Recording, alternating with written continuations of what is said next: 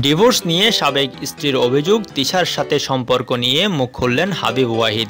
জনপ্রিয় সংগীত শিল্পী হাবিব ওয়াহিদের সাবেক স্ত্রী রেহান সম্প্রতি অভিযোগ তুলেছেন, তাদের ঘর ভাঙার পেছনে বেশ বড় ভূমিকা রেখেছে এ সময়ের মডেল অভিনেত্রী তানজিন তিশা।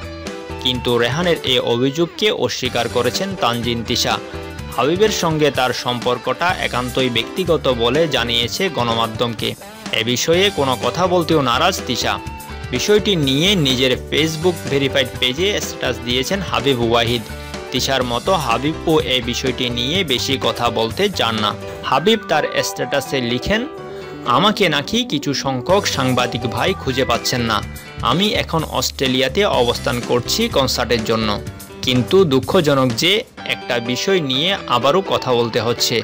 আপনাদের করা একটা নিউজ দেখলাম। সেখানে বলা হয়েছে যে তানজিন তিশার কারণে আমার সঙ্গে রেহানের ডিভোর্স হয়। কথাটি ঠিক নয়, কারণ এক হাতে তালি বাজে না। তানজিন তিশার সঙ্গে আমার কি সম্পর্ক সেটা একান্তই আমার ব্যক্তিগত বিষয়, এবং এটি নিয়ে কিছু বলতে আমি বাধ্য না। এবং কেনই বা আমার ডিভোর্সের কয়েক মাস পর এসব কথা রেহান বলবে এটা আমার কাছে আশ্চর্যজনক মনে হচ্ছে। বলার হলে আগেই বলতো, ডিভোর্সের কারণ যাই হোক না কেন আমি তো জোর করে ডিভোর্স করতে বলিনি তাকে। সমঝোতার মাধ্যমেই হয়েছে ডিভোর্স তাহলে এখন এত কাদা চোরাচুরি কেন? এসব করে কোনো লাভ আমি দেখছি না। এসব মোটেও কাম্য নয়।